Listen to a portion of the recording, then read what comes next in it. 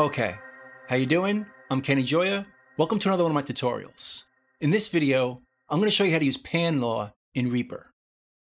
Now, if you search around on the internet trying to figure out what pan law is, it can be kind of confusing. There's a lot of misinformation out there, or information that's not explained correctly, so I'm going to try to make that a little bit clearer, at least as it pertains to Reaper. Now, to understand how pan law works, it's important to know where you adjust it in Reaper, and that's in the project settings. Let's go up here, project settings, and if we go to advanced, here's where we set the pan law for our project. Now this is important. It's in the project settings and not in our preferences because it's based on project. You could change it from project to project, but it's not going to change in a system. If there was a preference to change the pan law, it'll mess up any mixes that you already made. If you open up a session that was made from a different system using a different pan law, it's not going to sound the same. So that's not a good thing. It's better to have it in the project settings so it's saved when you save the project.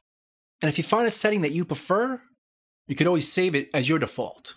So every new project that you create, use the same pan law. But as you'll see, for the most part, you don't usually have to change it. In fact, for most of us, the default is perfect. So by default, Reaper sets it to zero which means there's no compensation for pan law. So let me show you what that means. If we go down to our mixer, I have a track here that I put a tone generator on, and I set it to minus six. See, it's right here, minus six, and it comes back to the master as minus six. So the reason for pan law is if we pan it to the left, let's just reset this, it's still minus six. If we pan it to the right, it's also minus 6. But when you pan it in the middle, with it being minus 6 on both speakers, it's going to be twice as loud. So that can sound a bit weird when a sound is panning from left to right. When it gets to the center, it gets a bit louder. Now, most systems aren't perfect. A perfect system would make it 6 dB louder. But I think the best systems in the world are lucky to get above 5. A mixing room might be 3 or 4, so companies disagree on how much to compensate for. And right now, REAP is not compensating at all. That's why the level in the center is the same as the sides, but it's going to sound louder to our ears. So let's check out what happens when we compensate for it. Let's set this instead to minus 2.5. Now this is the default that Pro Tools used to use before Pro Tools 9, and you couldn't change it. So if you're used to that way, you might want to set it to 2.5. And what that's going to do, if we hit OK, let's reset the meter. Now it's at minus 8.5. So it reduced it by 2.5. If you pan to the left, it's still minus 6. Pan it to the right, it's also minus 6. But when it goes to the center, it changes to minus 8.5. It reduces it by 2.5 dB to compensate for getting louder in the middle. And again, if you're used to that, you might want to use that setting. Another common setting is 3.0. Right here, this is the default that Pro Tools uses now after Pro Tools 9, but now in Pro Tools you can change it. It's also what older analog consoles used to use, like Neve and API. They chose 3 dB. So with it set like this, if we pan to the left, it's still 6 dB, or the right. But if we pan in the middle, it's minus 9 dB. So it reduces the center by 3 dB. And it does it proportionally. It doesn't just jump when it's in the center. So when you're over here, it's 6, and as you slowly get over, it slowly gets reduced until it goes to minus 3. So it's not a jump. It does it in proportion. Another common setting is minus 4.5. This is the default of SSL consoles. I think the thought behind this is that with an SSL console, you probably have a pretty good sounding room. So the center would be even louder. So you want to reduce it even more to compensate. And at 4.5, again left is still minus 6, and right, but in the center, it's down 4.5 dB. And there's one more setting if you happen to have a perfect system. and that's minus 6. I'm assuming Reaper put it in just to cover all their bases. They want to give you every option. Now there's another option over here that works with each one of these, and that's gain compensation, which boosts the pans instead of the other way around. So if we put this back to zero, this isn't going to do anything because no compensation is occurring. But if we set this to minus three and choose this instead, instead of it reducing the middle, it boosts the sides. So it's basically doing the same thing, just the opposite way. So it's set to minus three and gain compensation turned on. Now if we put it to the sides, instead of it being minus six, it's minus three. So it boosts the sides instead of reducing the center. We go to the right, same thing. It's minus three, even though the signal is actually minus six. If we bring it to the center, it goes back to minus six. So by using this option over here, gain compensation, the center stays the same and the sides change. They'll boost by whatever we set up over here. So if we use six, anything pan left and right is going to be zero because it's boosting the sides by 6 dB. But in the center, it's still minus 6. So the compensation is the same, it just does it a different way. Now you're probably wondering, what's the benefit of this? Does it change how I mix? Really, that's a personal preference. If you used it one way, like on old consoles, you might want to set it to minus 3.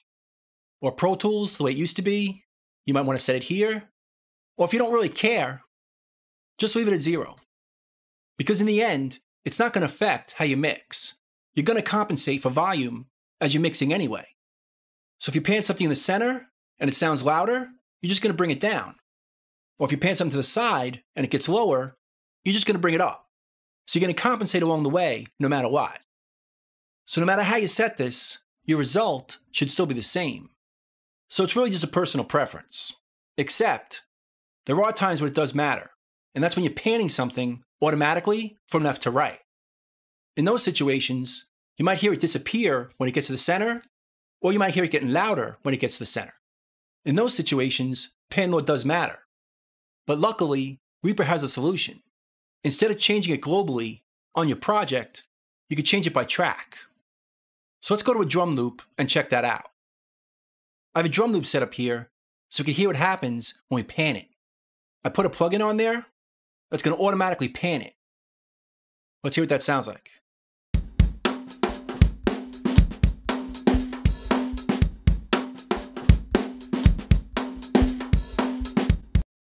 Notice how it moves from left to right? The level kind of changes depending on where you're hearing it. In headphones, on your monitor speakers, in a big room, in a concert hall. What happens in the middle can be adjusted on a track by track basis. So let's go back to our project settings and leave this on the default, which is zero compensation. So the sound should be louder when it gets in the middle, as opposed to the sides. So let's hear that again.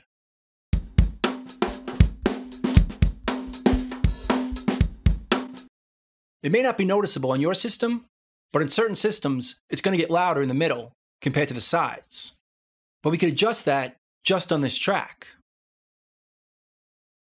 So if we right click our pan, this pops up.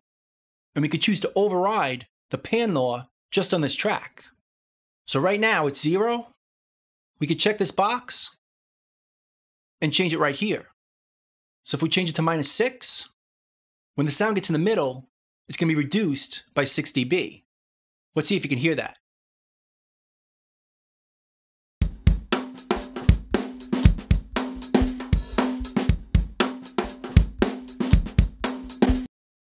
It should be a lot closer to what you're hearing on the sides. But again, you could adjust it for your personal taste, also depending on the sound that you're using. So where a loop might sound good at minus 6, a string sound or a hi-hat might sound better at minus 3, and we could adjust that. Let's hear it at minus 3.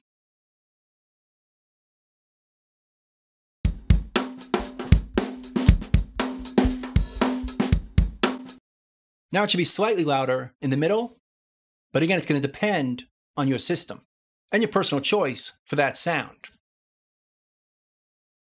Now you could also choose to use gain compensation on the pans. Again, it's going to do the same thing, except instead of the middle getting lower, the sides get louder. So if we make it minus 6, the sides are going to be 6 dB louder.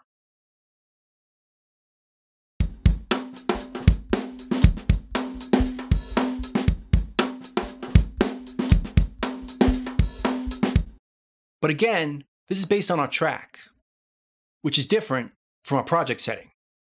So you can leave this at Reaper's default of zero and change it on a track by track basis. Let's take a look at the meter to see if you can see what's happening. Let's leave it here. Let's switch it here again. Turn this off, and let's put this back to zero.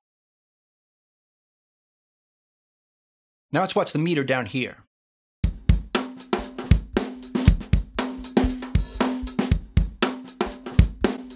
Notice the sides and the middle is about the same level as far as the meter.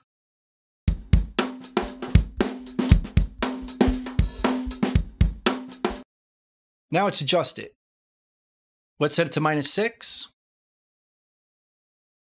And now let's watch the meter. You should see the middle getting a little bit lower compared to the sides.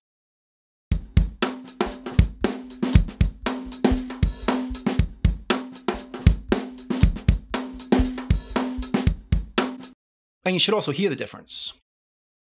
But again, that's on a track by track basis. Over here is how you set it up by default.